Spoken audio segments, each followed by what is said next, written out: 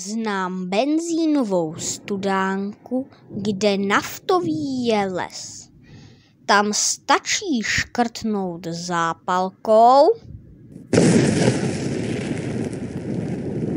a letíš do nebes. Pak chytnou lesy hluboké až po okraje měst a z benzínové studánky šlehá fire až do nebes.